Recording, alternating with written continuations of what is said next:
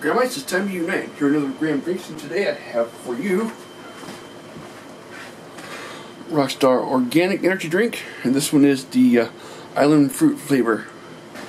Now, I was not a big fan of the other one, but I don't know what to expect with this one because I've never had um, Island uh, Fruit flavor before.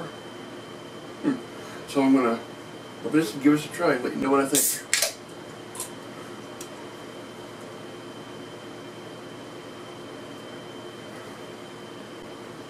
All that comes to mind as soon as I smell this, there's a real um,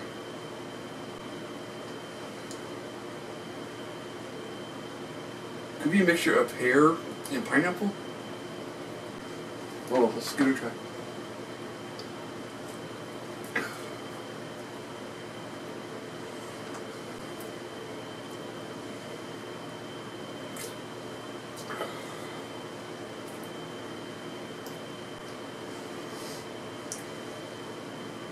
Okay.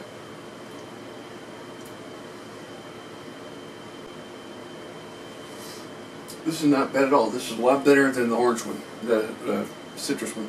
This one is, is uh, definitely better.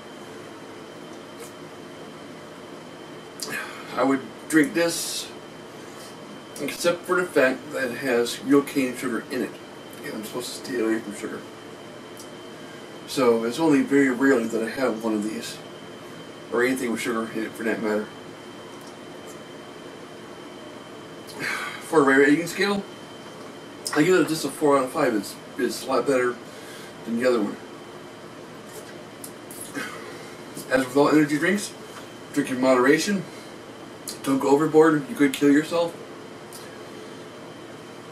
And with that said, I'll see you on the next episode of Graham Drinks.